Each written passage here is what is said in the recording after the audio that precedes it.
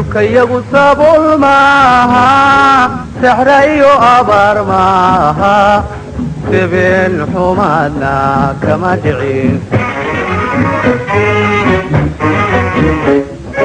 dhulkayagu sabuul maaha saxra iyo abaar maaha debeen xumaadna kama dhicin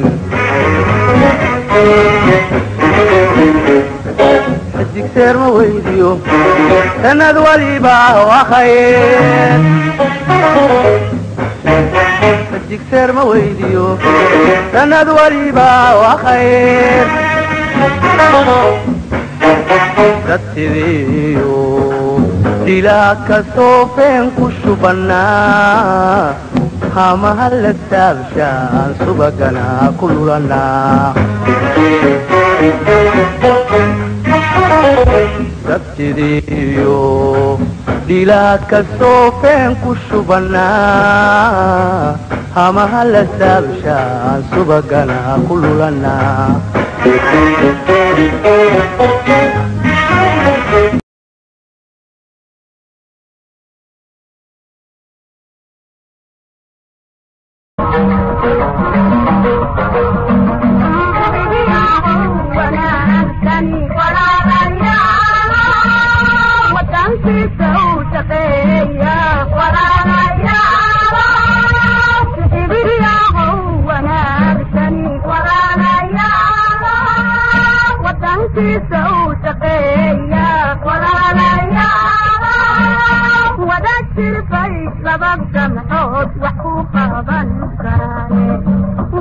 lulannaa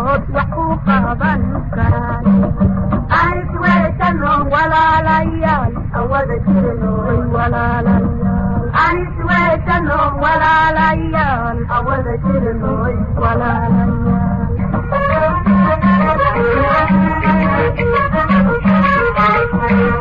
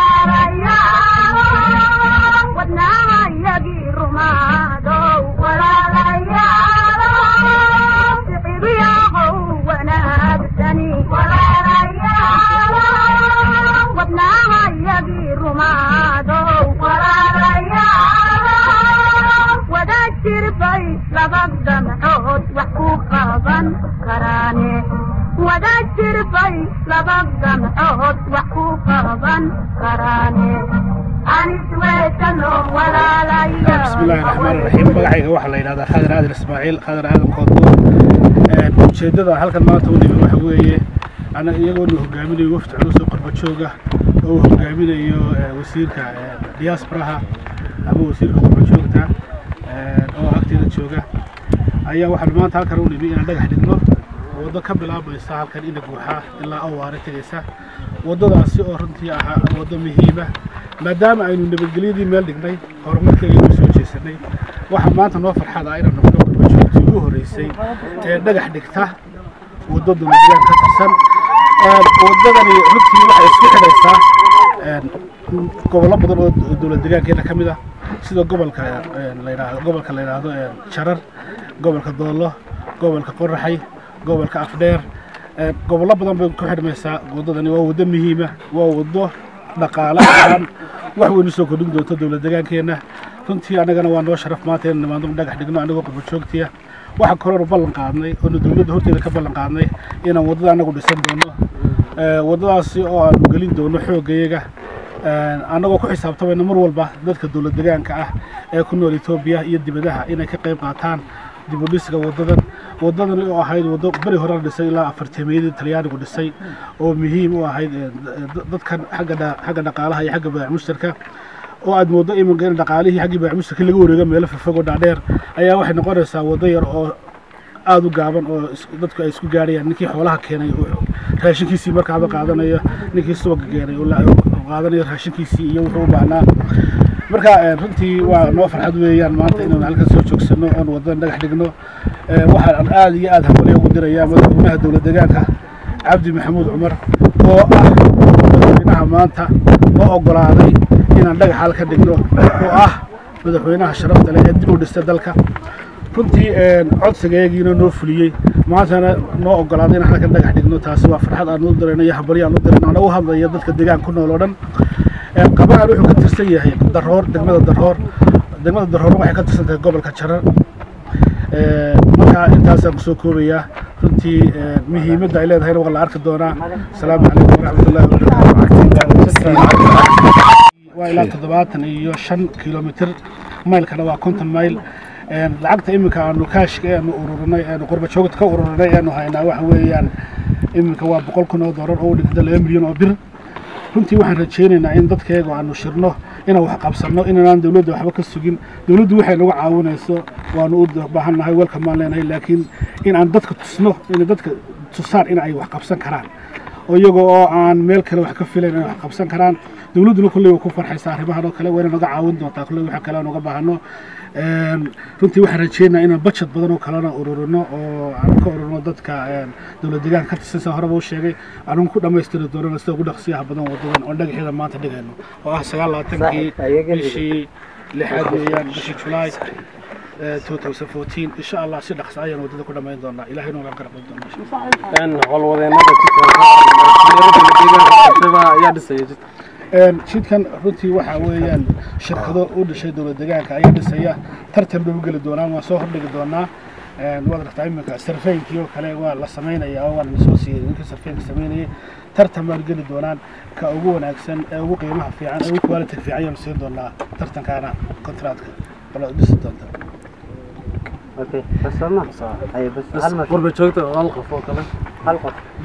waa maxamed jaamac xujaale waxa weeyaan aabi. Halka aanu taagannahayna waa ina guuxaa dowlad deegaanka soomaalida darafkiisan waqooyi weeye. Ilamaa iyo awaare ayay waddadu soconaysaa inay dhaaftana waa suuragal oo ay sii dhex gasho magaalooyinkeenna kale ee uu dowlad deegaanku leeyahay. Cidda aan anigu maanta halkan kala hadlayaa uuni waxa weeye khadar baa dhammeeyey hadalka badankiisii inoo tafatiray waxaan halkan horta uga mahadnaqayaa wasiirka oo milixdaynala taagan wasiirka oo isaguna ah wasiirkayagii qurba joogga ee dowlad deegaanka etoobiya dad kale oo fara badan oo wafdigiina way noo yimaadeen iyagana waynu salaamaynaa waana hambalyaynaynaa. Waxaan la hadlayaa dadka qurba joogga ee dowlad deegaanka soomaalida ka tirsan waxaan ka imi anigu dalkan britishkaan ka imi kolkaan sidii dadkii hore u hadlo waxaan ka imi birmingham ayaan ka imi waa aabi way wada garanayaan ummadda soomaaliyeed oo dhammi aabi gaaba way taqaanaa.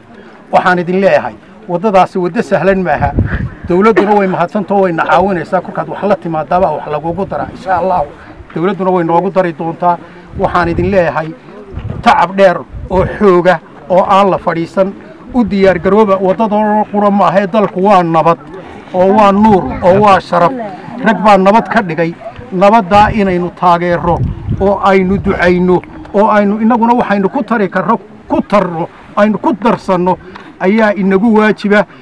Soo diyaargarooba lacagtii soo diyaargareeya waxaa la hayaa dee boqolkaa kun ee doolare inanku sheegay weeye iyo waxoogay la jira.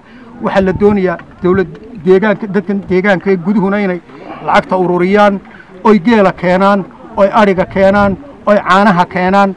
Qoladeennii qurbuhuna waynu is ognahay. Waddadani waddo sahlan maaha waa waddo laga dhergaayo oo qiimalo gobolladeenna dowlad deegaankana isku xidhaysa. Meelahan kale iyo badahana inoogu xidhmayso. Hadday doonto ilaa berbere inoogu xidhmaysa. Waynu soo diyaargarooba ilaahayna ha idinla qabto. Hana fadhiisanina. Dalka ingiriiska alxamdulilah inaanu waan aada ugu faraxsanayo inaanu maanta nimi waddadan la dhagax dhigayo ee ina guuxaa ilaa iyo awaare. Aad baan ugu faraxsanaya inaan ka soo qayb galno. Wasiirka nala socda cabdi khaliif aad buu umahadsan yahay isaguna wasiirka qurba joogta iyo akhyaartiina meesha ka soo wada qayb gashay dhammaantiinba. Insha allah waxaan rajaynayaa in ay noqoto waddadan mid khayr qabta si dhaqsaana ay noogu dhammaata. Marka waxaan leenahay waddooyinku waa waxa weeyaan wadnihii iyo halbowli isku xidheeyey nolosha iyo maaragtay waxqabadka waddanka insha allah badan baa runtii ka jira waddada marka xataa laga yimaado oo nolosha aasaasiga ah ee lagu dhaqan yahay ee dee dadku waxyaalaha ugu kow ah basebanka dee noloshaba ay ka bilaabanta. Ah sida dhakhtarka oo kale m c h ma laha iminka dumarka uur kale gabadh uur loon gurigeeda joognay yacnihii ma ma dee ilaahay uunbay sugaysaa ma garanaysaa? Dhakhtar lagaga umuliyaa ma jiro allahuma salli calaa maxamed iskuul ma laha. Waxyaalahaasoo kale inaad beri hore dawladda la socodsisaan idinkuna aa wax urursataan oo ay isku tala gashaan bay ahayd.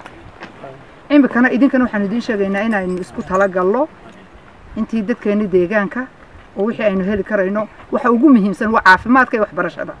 Waddadu xataa ka saddexaad bay soo gelaysaa. Muhiimaddu waxa weeyaan caafimaadka. Haddaanad caafimaad ba haysan de waxba ma haysatid marka ma jiro dhakhtar keliya hata dee m c h keliya meel yar xataa qof xabad farmasi dawo laga siiya kanayn ma jirto. Marka ilaa qofku waxay yidhahdeen marka ilaa salaxley ama hargeysa xaggaa loo sii wado ama xaggan iyo jigjigara dee waddaba ma jirtoba loo sii maraaba. Waa hadalkeedaba turma intaasu qofka umusha ama foolanaysaa ee dee qofkii aanu ilaahay si dhaqsaa u kala keenin la yidhaa kaxeeya ay ku qaadanaysaa. Marka waxaan ilaahay uga rajaynayaa madaxweynaha cabdi cumar. Wallaahi maasha allah wax wanaagsan buu qabtay. Oo lagu ammaani karo. Oo aanu jirin wax madaxweyne geeska afrika lama faaninayee ka samaysmay. Wuxuu qaban ayuu qabtay. Isagii xukuumaddiisa. Xukuumadda haddii aanu isagu aanu qofka haguhu haddii aanu hagaagsanayn uu ka xumaado dee kuwa kale ma ma hagaagaan. Anugu inta kalena waan waan way way kula jirtaa laakiin isagaa keenay fikirka fiican. Waanu ku mahadsan yahay. Iminkana waxaynu ka codsanaynaa in uu uu nala qabto oo dhakhtarrada waxa ugu horreeya dhakhtarka uu ka bilaabmo ee iskuulka uu ka bilaabmo in uu maxaan ku dhahday waa inaynu cabashadaa ula tagnaa madaxweynaha oo aynu u sheegnaa. Kolleyda hadduu t v-ga daawadana waynu waa ahlan oo u maqli haddii kalena waa in loola tagaa. Idinkuna waa inaad isku tala gashaan. Madaxweynahana waxaan ka codsanaynaa isagoo waxyaala wanaagsan oo loogu mahadiyo inta ilaahay ka sokaysa. Uu qabtay uu ku ammaanan yahay waddadana uu aada ugu ammaanan yahay qayb libaxna uu ka qaadanayo inuu dhakhtarkaas waxa weeyaan waa muhiim. Dhakhtarku iyo caafimaadku iyo iskuulku labadaas ayaanu isagana ka codsanaynaa. Si gaar. Ahaaneed in uu maaragtay inoogu soo dadaalo ugu soo dadaalo magaalada. Insha allah haddii ilahay yidhaah idinkuna aad ku tala gashaan. Waad salaamantihiin waa mahadsantihiin asalaamu calaykum waraxmatullahi magacayga waxaa la yidhahdaa sahre ismaaciil dinaase waxaan qurbajoogta ka tirsan ka timid dalka sweden qurbajoogta ka timid dalka sweden. Waxaan aada ugu faraxsanahay maanta inaan la soo kulmay waddadan ka bilaabmaysa ina buuxaa ilaa qoraxay soconaysa awaaro sii maraysa gobollo badan sii maraysa. Runtii aad baan ugu faraxsanahay dadkays abaabulay iyadoo aanay weli dawlad abaabulin ay gartay danahooda inay si gaara u qabsadaan aad baan ugu faraxsanahay. Ka midna waanahay wixii looga baahan yahay soomaaliyeed gacan qabashana diyaar baanu la nahay. Sidaa idinkuba ula tihiin kii xoolo keenaya iyo kii lacag keeniyaba iyo kii xoog keenaya iyo kii qalab keeniyaba annaguna saasaanu diyaar nahay mas'uuliinteeda sare ee ogolaatay in wadadaa la sameeyana. Waxaan waanu mahadnaqaynaa iyagana waad mahadsantiin baan leenahay. Mudane cabdi maxamuud cumar oo horumarka jecel wixii fiican jecel. Kolley aada ugu farxi doona gacan weyna naga siin doonana. Waxaan leeyahay sida waad mahadsantahay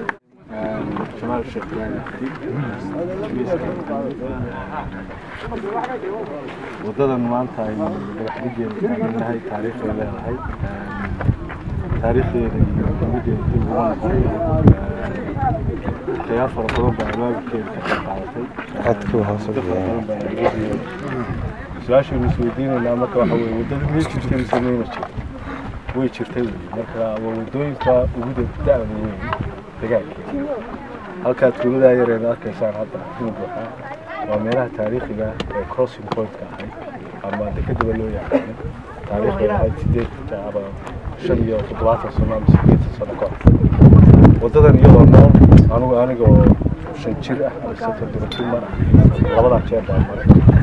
Markii toddoba jirka ahayd waa mar xukuumaddii derbiga laga xiray markaasaana igu dambeysay waxaan maanta markaa aad anigoo weyna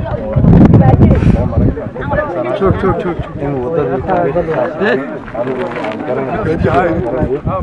Inuu maanta dib soo maxaa isweydiin lama laabkee u dhismaysaa waxay dib waxaa u dhismaysaa. Annagu fikradu maan yaa hantida iskale hantida waxaa iskale qarankan dowlad deegaankaa iska wada. Kii ganacsan doona kii ku socdaali doona iyo wixii kale ee macnaha muhiimada soo kordhinaysa waddanka. Maxaa ugu wanaagsan uu bani aadamku ku soo camiri karaa dhulka ilaahay wuxuu ku camiri karaa ugu wanaagsan waxa waaye ceel iyo laga cabado qodo ama jid bani aadamku maraan ka hormaraan ciddii ka qayb qaadata ajar bay ka helaysaa joogta. Ciddii fikrad keenta iyaduna sidoo kale ninkii aan xoolo ku daraynin inuu abaabulka iyo gacantiisa iyo xooggiisa inuu ku daro ayaa muhiim hadal kaloo aanu ku sii daraynin. Waxaan maanta anugu shaksiyan si gaara aan ugu faraxsanahay. Meeshii anuu toddoba jira maray wadan noolahay in maantana haddana dib soo noqo halkaa waxaad ka garanaysaa waxyaabaha maxaa keena wixii dadku ka cararayeen ee tan horta baabi'isay nabadgelyo darre. Ama maamul xun oo derbi iyo maxaan ku idhaha boqortooya oo dadka caburinaya wixii waa laga gudbay waa waa waa maxaan ku idhaha waa laga caafimaa ilaahay bay noo reeyay maxaa jira marka maanta? Maamul nabadiina meel saaray horumar iyo dimuqraadiyad iyo maxaan ku idhaha maamulka suubanka tan mayna dhacdeen marka annagii qurbo ka nimid inaanu shacabkii iyo maxaan ku idhaha aanu idhaahno waddadan aanu dibi noolayno. Waxaanan aaminsanahay wixii tabari meel dhigto oo shacabka inay dowladduna ay la garab taagan tahay. Hadday caqli noqon lahayd iyo hadday maxaan ku idhahay iyo iyo iyo tilmaamista ay ahaan lahayd waxaan mar dambe iyo mar horeba aan aada ugu faraxsanahay. Waddadan waxaad moodaa ragga qaarkii inay hadda un ugu cusub tahay ama dhowr sano hadda ay arkayaan. Taariikh fiican bay leedahay. Anigana shaksiyan waxa weeyaan waxaan ballan qaadayaa waddadaasi inta ay dhammaystirmayso way ka gaadhaysa ilaa meeshii aan ka soo dhaqaaqay markaas oo awaaraa inta ay ka dhismayso inaan taladayda iyo wixii xooggayga inaan maxaan ku idhaha la garab istaagay. Labada nin ila socday maxaan ku idhaha ingiriis ka wada nimid khadar aadan koodbo iyo cabdisalaan maxamed cali iyo adeerka hadda aabi oo aan islahayn aabi baa hadda halkan ina guuxaa kala kulmay marka kaltuun waanu wada soconnay waxaas سالس معرض ما سوى كله أخيرا كله النور ويكتي مدو كله وحن ضد كن دجان كمرك حد أنو شيء جي شركة مسلة تقدرنا كل هذا تاس لكن إن إذا كل كواهي الدول دي نلا جرب تاجنتا أو كل شوك تين نلا جرب تاجنتا أو جرب استدي نلا جرب تاجنتا أو إن تين هذا ما أنت قبلة كشوك تموي حتى دجان نذا كلا محن كورا دجان كوكوبين يعني إن يدنا لفت يدنا معناه ما دام وحش دقة شعرية هاي in ay u bannaan tahay aanu ka soo ururin doono insha allah haddii ilaahay yidhaaho. Waxaan akhritaanka ku soo gebagabaynayaa mas'uulka maxaan ku idhahay arrinkan mas'uulka soo gabagaday cabdikhaliif gembe oo wasiirkanagii ah saaxiibkanagii ah isla markaana garanaya waxyaaba badan oo baahidayada ah. Marka arrinkaasoo ku soo maaragtay gabagabaynaya wasalaamu calaykum waraxmatullah magacayga waxaa weeyaan daawud oo yuusuf waxaan ka mid ahay odayaashan dowlad deegaanka soomaalida ee degmada daroor waxaana ka mid ahay waan ka mid ahay qaybta nabadgelyada ka shaqeysa had iyo jeer la shaqeysa hay'adaha ku shaqada leh waxaan aada ugu faraxsanahay aniga oo maanta ka qayb galay waddadii la sameeyey afartankii oo aan muddo dheer imakaanay cilmarin dad badan oo isaga dambeeyey dowlado badan oo isaga dambeeyena aanay waxba ka qabanin in maanta dhagaxdhiggeeda aan ka qayb galan aad baan ugu faraxsanahay. Waxaan hambaliyeynayaa dowlad deegaanka soomaalida ee uu madax ka yahay cabdi cumar. Ayaan aad u hambaliyeynayaa maamulkiisa suuban iyo isagaba. Waxa weeye waddadan markaan ka warbixiyo afartankii baa la sameeyey. Intaa ka dambeysayna wax dayactira ma yihiin dhibo badan waa naga soo mareen nabadgelyo darrada ayuun baana sababaysay dhibtaa naga soo maraysay maanta qabaleyga daroor waxa weeye degmada daroor waxa weeyaan labiyo toddobaatan qabaley labiyo toddobaatan kaa qabaley waxaa ka tis qaaday nabadgelyada waana ta keentay maanta in loo soo jeesto horumarkeedii cid kasta oo aanu jaar la nahay iyo cid kasta oo haddii la yidhaahdo amba somalilan ha noqoto oo aanu jaar nahay amba beelaha gaaranagadhammaanteed dhammaanteed waxaanu kula nool nahay oo isku waanaan isku wacdinaa inaanu si nabadgelyo ah aanu kula noolaano. Waddadan saasaan uga mahad celinaynaa waddadani waa waddo faa'iido badan. Waa waddo isku xidhaysa laba dal oo jaar ah waa waddo isku xidhaysa dal fara badan oo haddii alla iidankeeda kala xidhnaa oo nabadgelyo darra ay ragaadisay. Waa waddo isku xidhaysa. Waxaanu la garab taagannahay مال كيجا إنا أنا أنا كل اسمه. والله غو بتوبته لو ضل صابر والله أذبنا وما دارين بس. أو يصير كا بقى حد جاي. يقول هذا كله يقولون هنتدو تقدر غضيبه أذبنا وما دارين السلام عليكم ورحمة الله وبركاته. وعليكم السلام ورحمة الله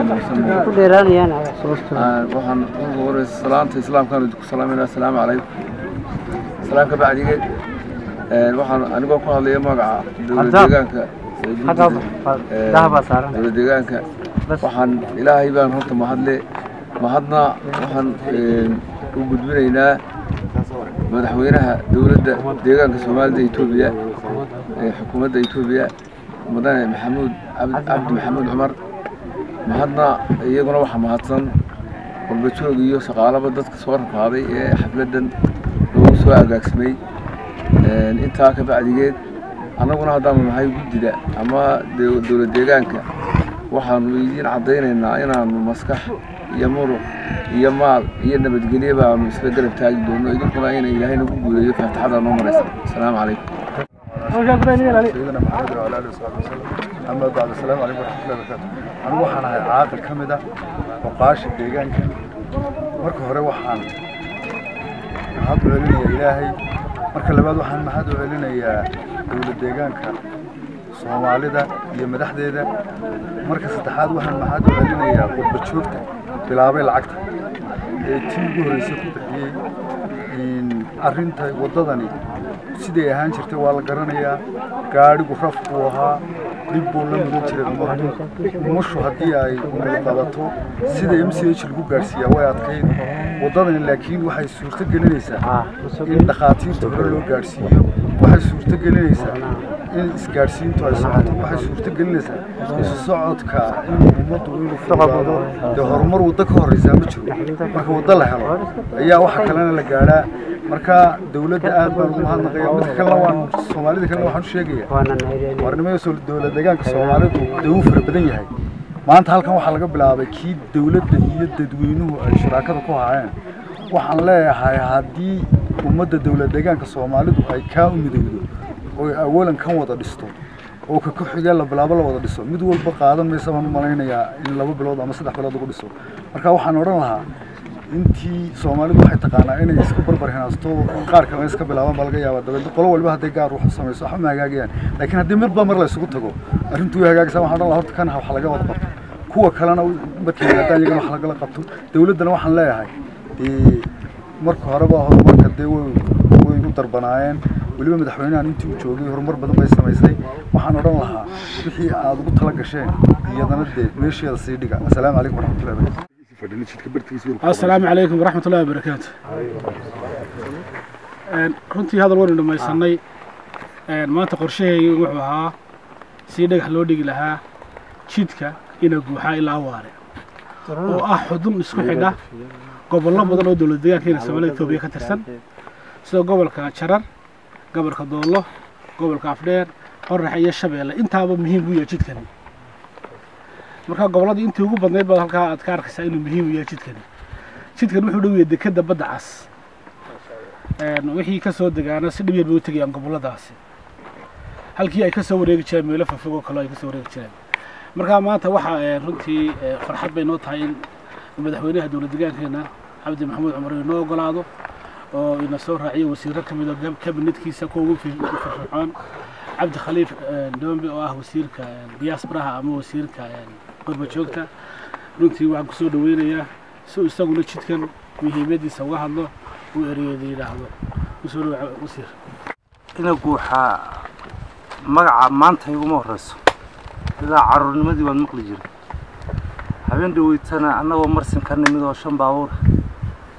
Oo qaar دينعان كلاي كلو من رحمي وزير دي هوانكا ماليد عم حال كنان سواق علي أسكر تسولن. سفي عنا ويالين وين إلا بيسل. يلا. بيسل. بيسل. آه، يسوكا يا كينين با ولا وزير كي حرش آه، قدومي حرش يو كي ضرور يو للحي وحان دي شيء. هل شيء. قربها وحبا ذنبا المدحونا هو الراعي hal mar oo baxay oonan raacin ma jirto? Khadar waanu isugu tagnay. Berigii hore aad waxaa lagala doodi jiray daroor degmaha laga dhigo. Marsin degmaha laga dhigo. Maxayoocaala degmaha laga dhigo? Qurba joogta. Laga dhigiye degmooyin noqde eh. Hadda markaan soo marra on qurba joog soo mariyey. Dadkii gudaha unbaa dhistay eh. Hal qof oo qurba jooga oo guri villaha ka dhistay. Ma jiro daroor aniga oo wada ilaa iyo dhowr iyo soddon qurba jooga markaan imid oon daalanahay oo roobna jiray aan hotel baan rabnaa. Hotel yar oo cidhiidhi ah oo station booliiska ka soo horjeedo magac qurux badan leh martisoor miyuu ah? Ha ha oo dee shaba lacag la xisaabinine uun martida la seexiyo ayaan ku arkay. Ina guuxaana way ka sii daran tahay daroor oo degmo ah laakiin haddii maanta qurba joogtii reer daroor ay sixil qaameen in ay waddadan oo waddo caadiya oo waddo la maro uun aan ahayne waddo dhaqaale ah oo meeshii dad markuu dad jiro yaa wax la gadan karaa. Meel meeshii hadduusan dad jirin haddii warshad weyn oo rootiga samaysayna guuxaa laga furo dee ciddii cuni lahayd baa ka horraysa horta ama gadan lahayd inay joogto. Siduu idiin sheegi ilaa shabeelle maaha waddadan anigu waxaan aaminsanahay ilaa afdheer xitaa maaha xabadda oomada ah ama macawsa halkaa ka tagta inay nageeli tegi baan aaminsanahay oo ilaa liibaan. Dee waxa uun berbere iyo boosaaso ka yimaada. Iyo jabuuti unbaa gaadha. Goday iyo waddadan unbayna maraan. Dhoofiddii xoolaha xitaa. Halkan waa way ka sii fududaani. Waxaan filayaa qurba joogtu haddii ay qaateen oo ka go-an tahay in waddadan la dhiso in aysan dawladdu ka maqnaanaynin ay qaybteeda oo weliba lixaad leh ay qaadan. Shalayta bay ahayd barisley barisle oo qabri bayax ka tirsan. Saddex brofesor oo yaa yimid oo reer barisle ah dugsi sare ayay dhigeen dhagax dhigeen. Lacagta ku baxaysay oo ahayd boqol iyo waxay dhahay siddeetan kun. Boqol iyo konton kun bay keeneen soddonkii kunna dawladdaa ku dartay. Marka haddii bal uun la dhaqaajiyo oo meeshan bisad miya ay qurba joogtu gaadhsiiso odayaashuna ta ku xigtay gaadhsiin dawladduna awaara inay gaadhsiiso ku qasban tahay markaa marka in loo bilaabo horta wax fiican wey waana ku faraxsanahay waxaana filayaa salaan waxaan idinka sidaa madaxweynaha oo idin soo salaamayey ogolaanshihiisaan ku nimid.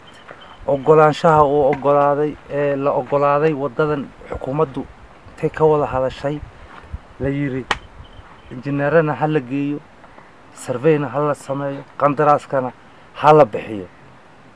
Bal aan eegnana qurba joogta waxa ay miiska la timaado.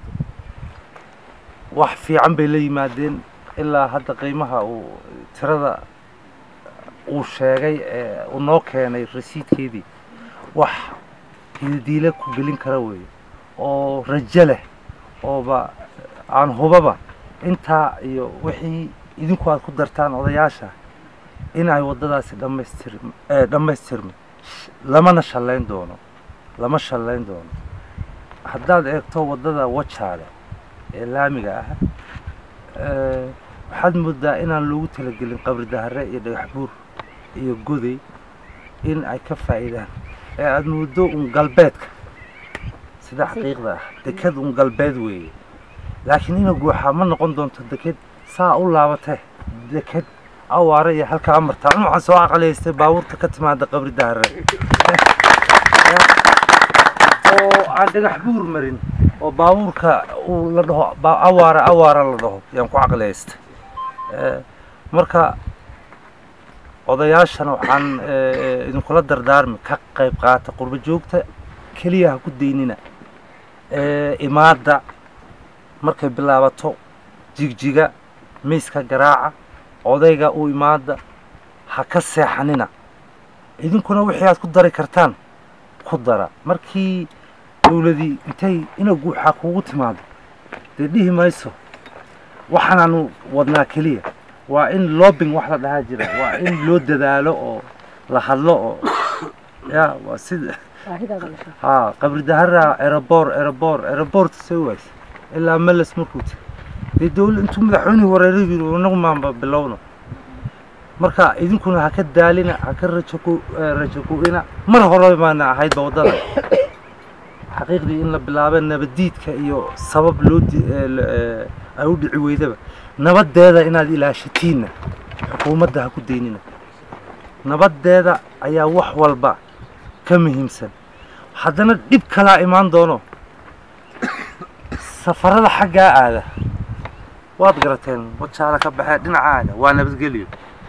Tani maadaama xaggan u leexanayso ilaa iyo goday nabadeediibaa haddana ina sugaysaa. Oo aan kulligeen in aan ka wada shaqayno maca xukuumadda loo baahan yahay. Marka waddadan waddo cayaara ma dad badan oo ka hor imaanayaa jira. Haddaad moodaysaan in lagu wada farxayo. Dad badan oo aan ku farxaynin ayaa jira. Markaa guntiga dhiishantaa isaga dhigtiin gacmo wada jir. Waa qurbo joogtii idinkii iyo xukuumaddiiba. Waddadaas waa inay hirgasho oo sanad gudihii ku hirgasho. Ilaa shan casho wax kale umaanaan tegaynin ani ee, khadar Wuxuu naga yimid isaga oo leh war eh, asalkii ma hadlay. Ya cabdi laakiin go ahead waana la siiyey waa waa la hubaa. Inkastoonan idiin magacdabaynin waxaa ka horreeya lacagta uu hayo xukuumaddu waxay bixin idinku waxa aad bixinaysiin waxbaa ka horreeya injineeradii mari lahaa waddada bal waxa lagu dari karo waxay qabto qiimaha ku baxaya wixii intaan isla ogaano markaa in saa loo qaybsado. Yaa lagama maarmaan laakiin ha ka sii fadhiisanine mar walbaba in laydinka sugi doono. Intii aad hadhowto bilaabi lahaydeen iyaguna xaggooda ha wadaan idinkuna xaggiina wada. Xaggii xukuumaddana idinkunba idin iyadaa qasnada weyne. Ya waxeeda waa la heli waad mahadsantihiin jirin ciidanka liyu booliska ee dowlad deegaanku leeyahayna waddo kumaynaan isugumaynaan nimaadno sababta aynu maanta halkaa ku fadhina waxa weeyaan ciidanka gaarka ah ee aynu leenahay ee liyu booliska iyaga laftooda oo aynu mar walba ugu mahadnaqayno hawsha laxaad kale ee ay gacanta ku hayaan hadday tahay mid xuduudada ah haddii ay tahay mid dalka gudihiisaba waddadani waxaynu in badan in badan in badan soo jiitamayna in aynu wax ka qabanno intaasoo xil baa soo maray dalkan intaasoo maamul baa soo maray waa maamulkii u horreeyey ee hirgeliya intay joogta ugu tagaan dibadda inay ka dhaadhiciyaan dalkooda inay ku qabtaan sababtaana waxaa la hogaaminta maanta joogtay cabdi maxamed mar guddoomiyaha iyo hogaan madaxweynaha u yahay waxaan leenahay madaxweyne aad baad ugu mahadsantay taa iyo tu ka badanbana waanu kaa filaynaa shacabkana waxaan leeyahay anigu afkooda ku hadlaya maanta wax allaala wixii kaga soo qayba qabaleeyada ama santarada u dhashay degaankan wixii ay diyaar leeyihiinba inay sida ugu dhaqsaha badan leh inay soo ururiyaan annaguna aanu la hawlgallo qurba joogta jarar iyo qoraxay iyo nogob iyo faafan iyo haddii aala ku roon yahay shabeellana. Waxaanu leenahay waddadu waa waddadiini waxaa ku soo darsanaysaan ku soo darsada idinka idin sugaysaa waxaan kaga bixi doonaa odayaasha ayaan ku soo wareejin doonaa. Aad iyo aadna waa mahadsantihi markaynu si dhaba u hadalno nolol ka horraysa waddo ma jirto. Caafimaad kama horreeyo nabadgelya kama horrayso dhaqaale kama horreeyo. Haddii waddo la helo wixii loo baahnay dhan waa la helay.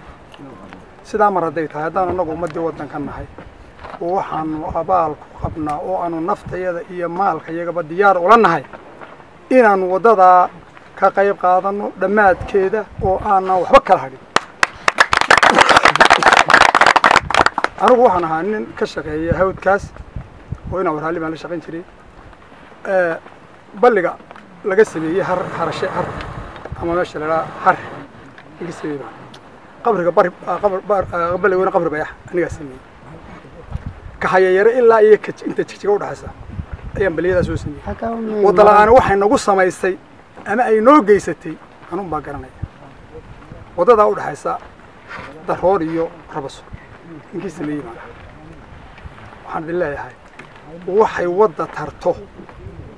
Waxaa garanaya ninkay ka maqan tahay. Ninkay ka maqan tahay baa garanaya. Wadda waxay tarto.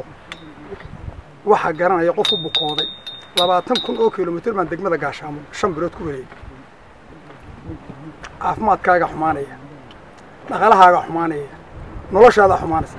Intaba wadda wanaagsan waxaan haddaba leeyahay dad iyo how nolol ka horaysaa wadda ma jirtee naftiinna iyo maalkiinna iyo maskaxdiinna iyo muruqiinna isu geeya oo waddadaa ka qayb qaata. Annaguna diyaar baanu nahay. Dowladdana waxaanu leenahay. Dee wadda dowlad baa dhista.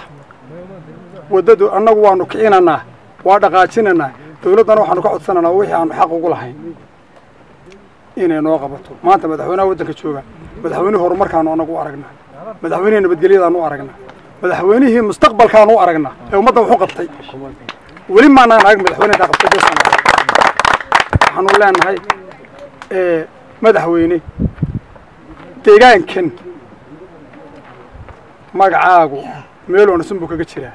Laakiin waddadaasaanu maanta annagu u aragnaa inay tahay wixii ugu muhiimsanaad noo qaban lahayd waddadaas annaguna waxba la hadhi mayno. Adiguna waxba hanagrin assalamu calaykum waraxmatullahi wabarakatu waxaan salaamayaa shirkan dhammaantii baysiima waan salaamayaa qurba joogta iyo dadkan deegaankaaba dhammaantood waan salaamaya waxa weeyaan halkan imarkaan joognaa waa ina guuxaa joogtu iyo odayaasha deegaankuba.